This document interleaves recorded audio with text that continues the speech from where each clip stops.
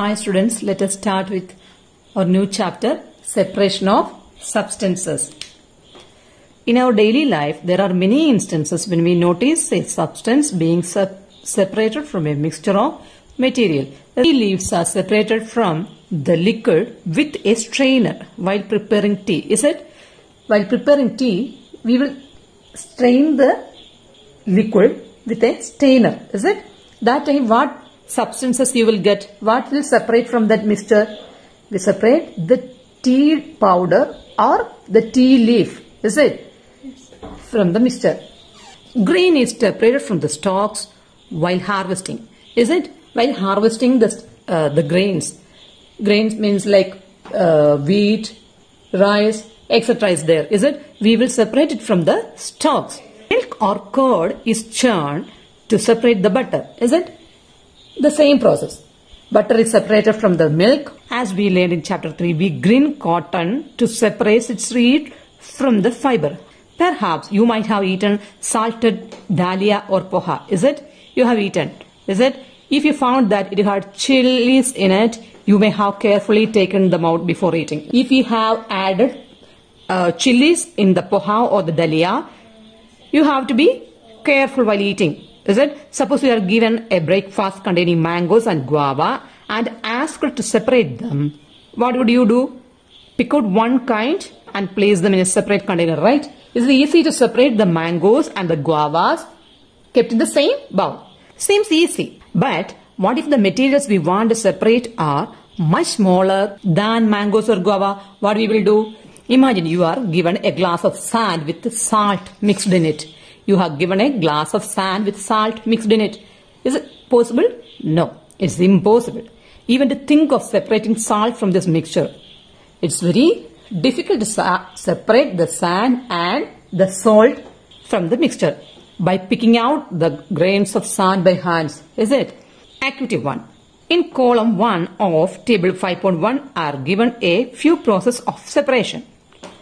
The purpose of separation and the way separated components are used is mentioned in column 2 and 3 respectively. However, the information given in column 2 and 3 is jumbled up. Can you match each process with its purpose and the way separated components are used? Listen the table. Why do we do separate substances? See, the first is separation process. Understand? Next, the second column, purpose for which we do the separation. For what purpose we are doing this separation. First column is separation process. What kind of process are we are using to separate components. And the second column is what is the purpose of this separation. And the third column, what do we do with the separated components? First column, first one is separate stones from the rice. What is the purpose of separating stone from the rice? To separate two different but useful components. The rice is useful or we have to separate the stones from the rice to use the rice. We have separated the stones from the rice. What do we do? We throw away the solid component. Stone is solid, so we'll throw just throw away. And the second is churning milk to obtain butter. The second one is what is the se- second separation process? Churning milk to obtain butter. What is the purpose?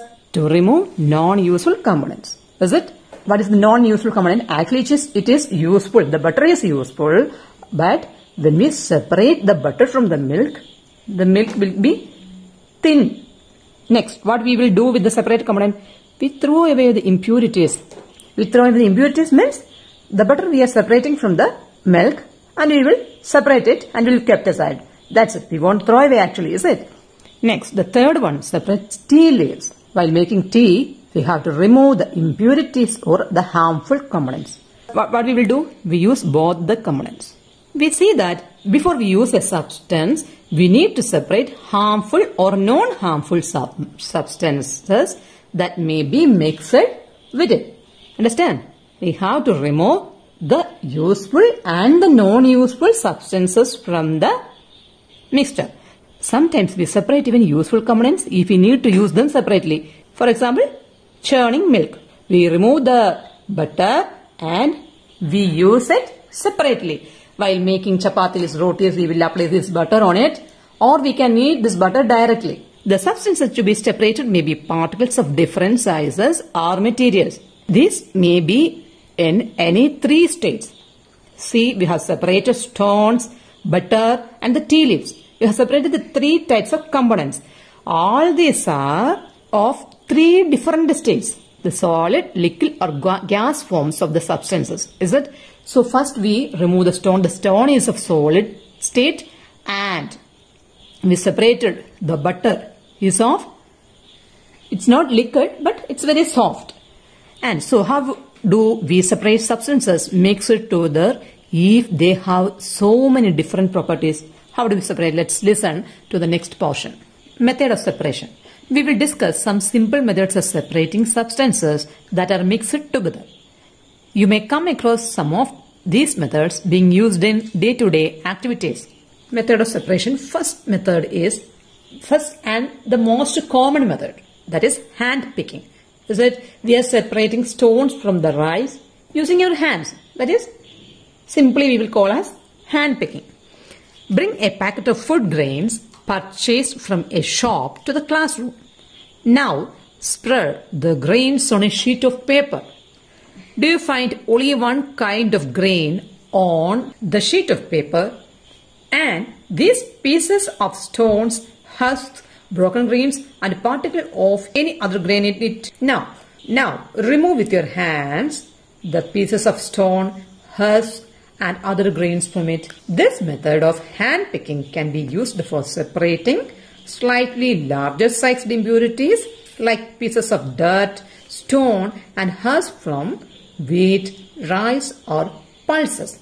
Understand? This hand picking method using our hands we can separate these larger sized stones, husk and other dirt pieces from the rice and wheat or like any other or from any other grains. The quantity of such impurities is not usually very large. In such situations, we find that hand picking is a convenient method of separating substances. That is, what they are saying is, it's easy to remove stones from the rice because the quantity of stones in the rice is less. So it's easy. The convenient method is hand picking. The next method of separation is threshing. We must have seen bundles of wheat or paddy stalks lying in fields after harvesting the crops. Stalks are dried in the sun before the grain is separated from them. Each stalk has many grain seeds attached to it. Have you ever seen the paddy field? In that paddy field, there will be stalks. Paddy stalks are there. That means the small stem-like portion. That's we call stalk. At the at the tip of the stalks, we can see the grain. Imagine the number of seeds in hundreds of bundles of stalks lying in the field. How does the farmer separate grain seeds from those bundles of stalk? One may pluck mangoes or guavas from the trees. But grain seeds are much smaller than mangoes or guavas. You know that, is it? So, plucking them from their stalks would be impossible. Plucking each grain from the stalk is not possible as we pluck mangoes, guavas or like bigger fruits. How does one separate grain seeds from their stalks? What process they will use? The process that is used to separate grains from stalk etc. is threshing. That process is we call threshing. If we want to separate a large amount of grains, we can't using the first method, hand picking, we have to use the process threshing. What is this process? In this process, the stalks are beaten to free the grain seeds. In this process, what the farmer is doing? The stalks are beaten to free the grain seeds. Understand? See, in the picture, the farmer is doing the same process. See, we can see in the picture, we can see the bundles of stalks are there. So, what they will do? They take each small bundles and they will beat them to free the grain seeds. Threshing is done with the help of bullocks. Machines are also used to thresh large quantities of grains. Next method is winnowing. Make a mixture of dry sand with sawdust or powdered dry leaves. Keep the mixture on a plate or a newspaper. Which mixture? The dry sand with sand dust or powdered dry leaves. Look at this mixture carefully. Can the two different components be made out easily? Are the sizes of particles of the two components similar? Would it be possible to separate the components by hand picking? I mean dry sand with sawdust or powdered dry leaf. Is it easy to separate the components using hand? Now take your mixture to an open ground and stand on a raised platform. Here the picture see standing on a raised platform. What they are doing? Put the mixture in a plate or sheet of paper. Okay? Hold the plate or sheet of paper containing the mixture at your shoulder height like this showing in this picture. Hold the plate or the newspaper or paper at your shoulder height. Then tilt it slightly. See, tilt it slightly so that the mixture slides out slowly. It's an easy method. Not easy but time taken method. See what happens. The husk is separated. Grains coming down. See? The grains coming, grains coming down, the husk is get separated. Do both the components, sand and dust, fall at the same time? Is there a component that blows away? Yes, of course, the husk is blows away. Did the wind manage to separate the two components? Did the wind managed to separate the two components? This method of separating components of a mixture is called winnowing. Winnowing is used to separate heavier and lighter components of a mixture by wind or by blowing air. So winnowing is used to separate heavier and lighter components. Here in this mixture there is grains, uh, husk is there, is it? Dust particles are there. So with the help of this wind, they are getting separated or either by wind or by blowing air. This method is commonly used by farmers to separate lighter husk particle from heavier seeds of grain. The lighter particle, this winnowing is mainly used to separate lighter particle from the heavy seeds of grains. Next, the husk particles are carried away by the wind. Husk is the lighter particle. It will be carried away by the wind. Next, the seeds of grain get separated and form a heap near the platform for winnowing. We have seen the picture that one lady is standing by holding that plate or the paper. So, she is standing in a raised platform, is it? So, near to the platform, there will form a heap of grains and the husk will be separated.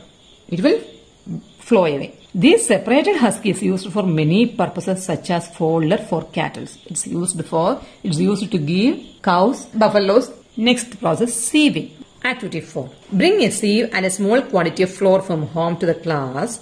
Sieve the flour to separate any impurities in it. Impurities means unwanted substances. Now make a fine powder of chalk pieces and mix it with flour. What will happen? Can we separate the flour and the powdered chalk by sieving? Is it possible? Sieving is used when components of a mixture have different sizes. Sieving is possible only when the components of the mixture have different sizes. Okay students, that is all for today's session. We can meet again through the next video. And if you like the explanation and the teaching method of my channel, please subscribe it and like the video and follow me. Thank you.